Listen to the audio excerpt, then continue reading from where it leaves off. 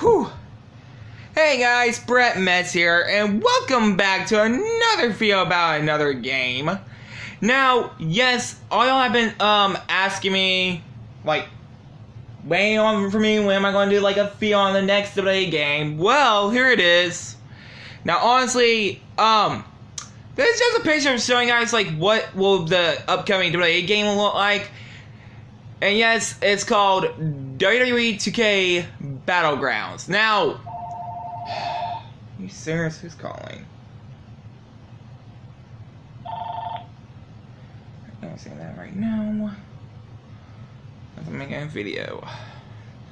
But anyway, now, what is WWE 2K Battlegrounds? Now, yes, it's kind of like that NBA that NBA 2K game that came out years ago in 2018 on the PlayStation 4, the Xbox One, it look a little bit cartoony-ish. Now, this it's called.